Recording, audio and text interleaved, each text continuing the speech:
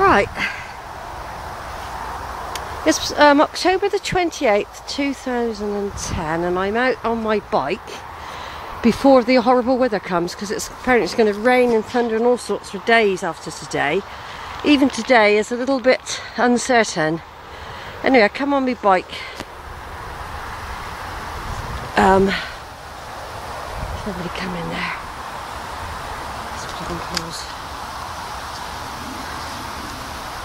Anyway, I come on my bike from uh, went on the train from Weston to Yatton because of the dangerous road, and then I've cycled from Yatton to Kingston Seymour, which is where I am now.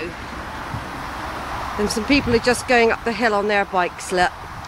People do drive very fast along here, by the way. Um, there's the M5 motorway over there, you'll probably hear in the distance. I came here once before, walked the whole way. Well, I did get the train still from um, Weston, but I walked all the way up here, I remember, and I took some photographs of the Denmead graves.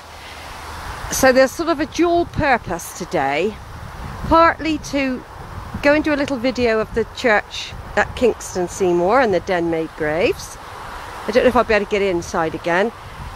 Also, the Somerset Hassells were around this way and they were farmers.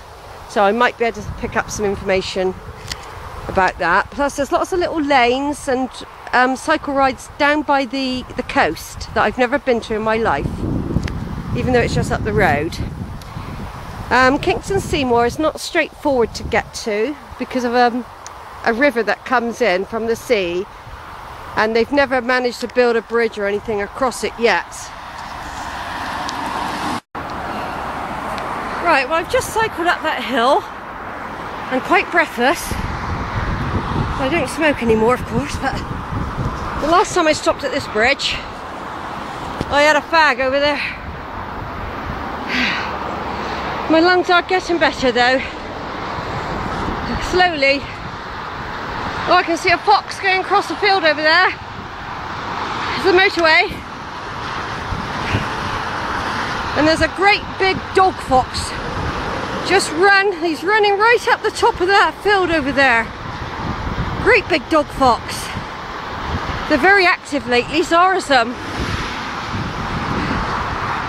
Zara's had um, one follow her around the block in, in Worle, which is a built up area. So that's the M5. That's going to Bristol.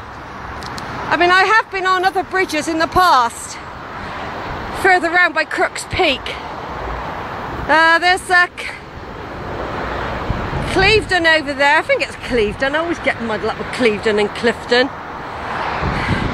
They're coming this way across the bridge this way. And then we got the motorway coming up. There's Crooks Peak in the distance, on the Mendip Hills. That way goes to Taunton, Bridgwater, Weston and um, lots of other places as well. And then you've got all these cars coming along here and we can video them all. There we are, there's one, he's going really fast. I'll be getting on the bike again in a minute. I'll try and do a bit of video when I'm off this bridge. Going into Kingston Seymour. There we go, look. There's all the cars. Crooks Peak in the distance.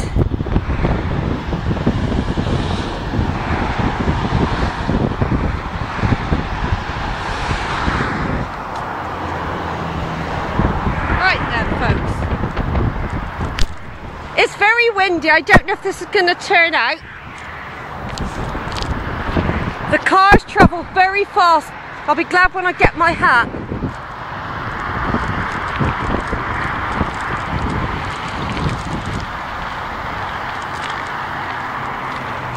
Right, we're now going away from the motorway bridge, down a road, a country lane. I'm going to put the camera on the handlebars, that's why it might look a bit funny.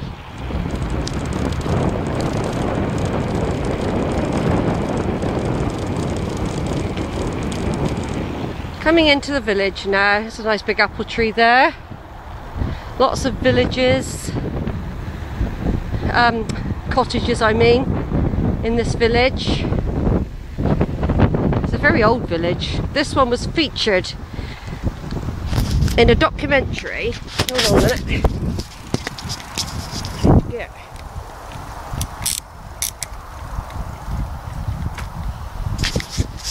Yeah, this village, I've still got that old video. It was a documentary featuring Kingston Seymour that was involved in a huge tsunami. They think it was a tsunami that arrived here back in the 16th century.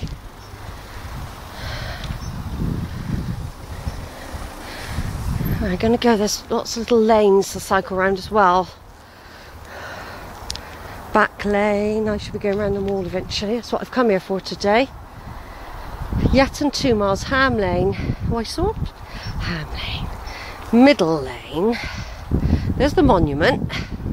It's Middle Lane up there. Morning! There we go, that's where back where I came from. And then up here we got the church. In a minute. So this is just a video of yeah of um, Kingston Seymour in 2010. Myrtle Cottage. Look, some of these would have been here in the past. Some have been renovated. You can normally tell by the roofs. These are new, of course. That's probably a rectory once, this building. And here we have um, Kingston Seymour Church. Now what I'll do, that's one entrance. I'm going to go around the other way and come in from the other side as well. It's called All Saints Church, Kingston Seymour. I'm just going to cycle around. There's a ditch, like a moat, that goes all the way around it. There's Barbary House. That looks pretty old, doesn't it? Kingston Seymour Village Hall, and there's actually a public walkway as well. They've got lots of little plaques on the wall. I'll have a look at them later.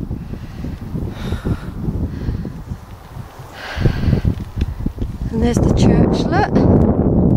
This, this spire, not the most common of features in Somerset, the spires. Like a moat going all the way around it. Of course, the locals will know all the village walks, probably. The old schoolhouse. See, now, Dave Coley's ancestors probably attended that in the past, see?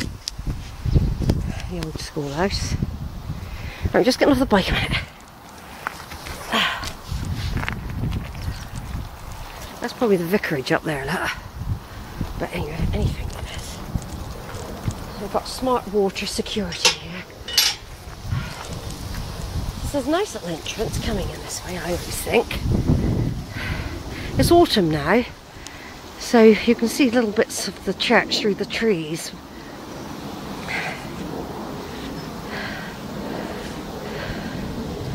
squirrels climbing up the trees there.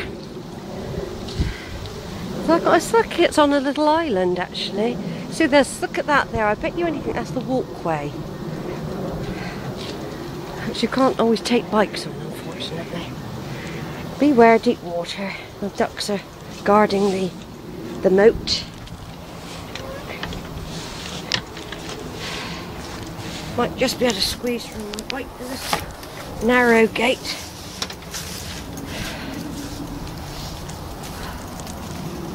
I have been and done all the graves here, so I'm going to go straight over to the Denmead graves a minute. So I'm just going to park up. Excuse me, somebody. I just want to borrow your grave for a minute. Who is it?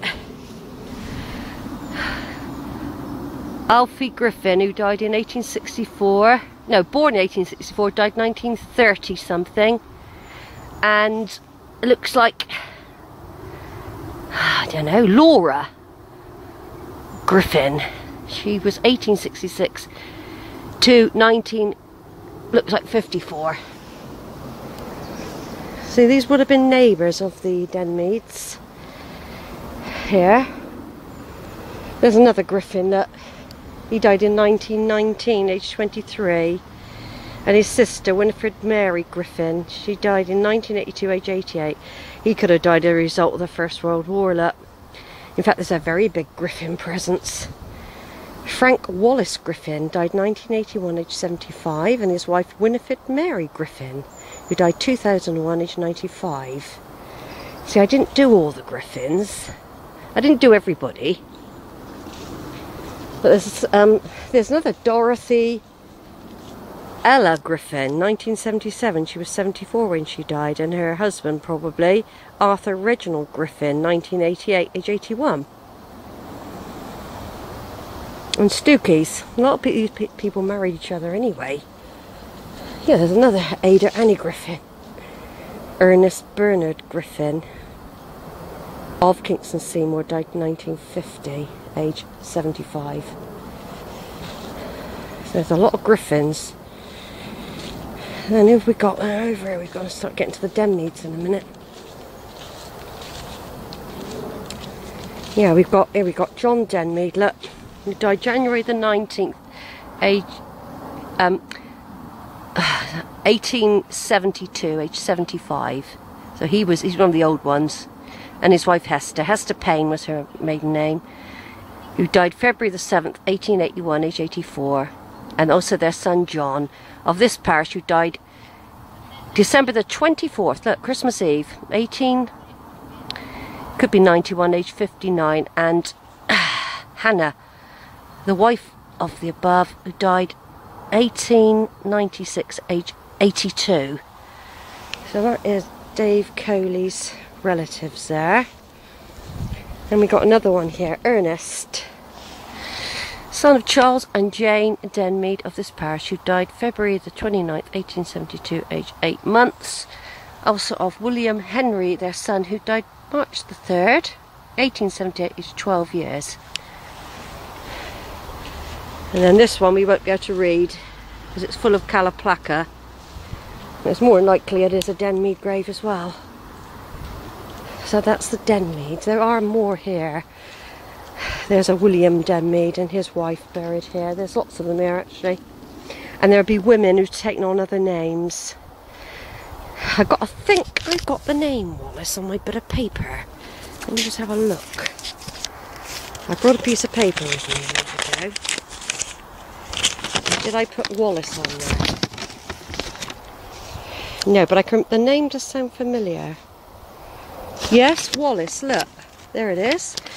The memory, I think somebody married a Wallace. The memory of James Wallace, a Denmead probably would have married the Wallace, who died the 22nd day of June 1864, age 69. Blessed me, oh, blessed are the dead, um, something or other which die in the Lord. Right, anyway.